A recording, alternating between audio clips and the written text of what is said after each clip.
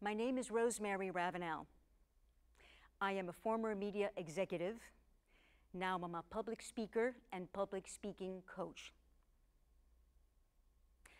My story has to do with effective public speaking, but it has a catch. Because I have been dealing all my life with a speech impediment. I am a stutterer and have been all my life, but I bet you can't tell. Today, I teach executives and individuals from all industries and walks of life how to use the power of their voice to change their lives, how to exercise their authority, their, their power, their expertise, how to use public speaking to move mountains. Let me tell you my story. When I was a child, eight years old, my parents and I came fleeing Castro's Cuba. They put me in boarding school where I was the only child who did not speak English. I didn't know anything. I was lost for about two years that they put me in boarding school. The trauma of being away from home for the first time ever and being among people who were strangers really traumatized me. I started to stammer when I finally learned English and then I went to college, I was determined to speak without stuttering and to speak without an accent and to be fully bilingual. After graduating college, I achieved my goal. I started working in corporate uh, public relations and traveled the world as a spokesperson for many, many multinational companies.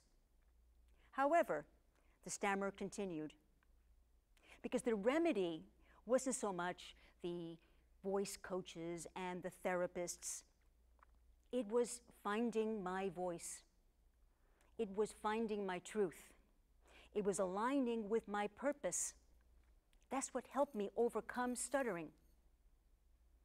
It would be such a anxiety provoking moment when I would be tasked with saying a word that began with P, P, P, P, P, P, like people or a word that began with R, railroad.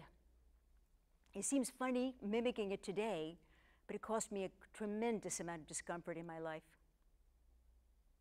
The point is that with these disabilities or these challenges, small as they may seem, the point is that once you come to your own truth and find your purpose and know what you have to offer that matters, that makes the world of difference. What I teach people is how to find that sweet spot that can help others illuminate, inspire, educate. Because if you can influence others, that influence multiplies manyfold. That influence can change the world. There's a saying that goes that public speaking is the cornerstone, the foundation for leadership and it's very true.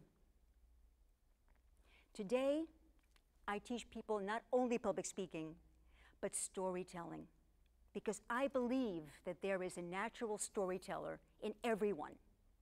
Stories are what we grew up with. It's how we learn to brush our teeth, how we learn to, to read, how we learn to do basic things that we need to succeed in life.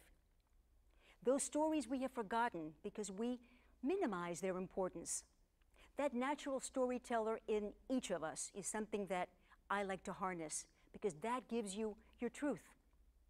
So, my message to you is use the power of your voice to change the world.